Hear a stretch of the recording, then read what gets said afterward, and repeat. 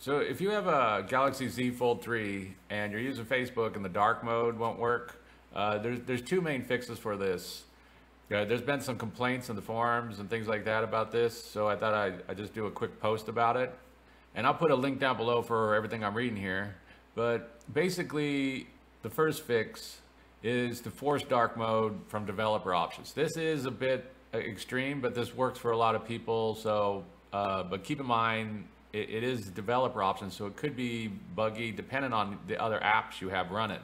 So, so what happens is that basically a lot of people have really good luck running a Facebook app and it will start running in dark mode, but they might be running some other app. And since this forces uh, dark mode on all the apps, it, it might, it might mess up another one. So keep that in mind. It does work, but it might mess up another app. It depends on what you have working.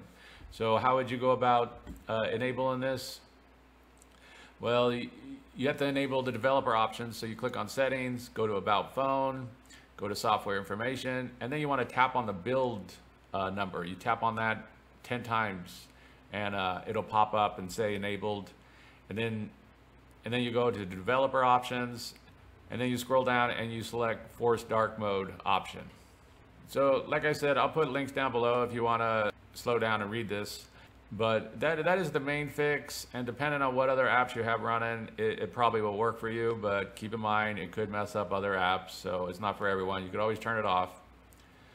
And uh, what's the second fix is basically just use uh, Facebook in a browser. A lot of people forget about this, that you could just log in with the browser and then enable dark mode from the browser. That This is, a, this is a, probably a better fix, especially if the other apps are messing up when you when you force the dark mode on all the apps. So for example, if you use using Chrome, just open up Chrome, log into Facebook, and then uh, at the top to enable dark mode, you click the three dots, click settings, click on theme, and then you would just enable dark mode from there. And that, that works for a lot of people too.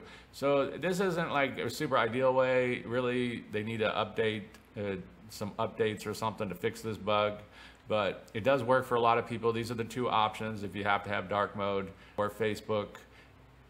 One of these options should work for you at least temporarily until they until they do an update. This gets fixed.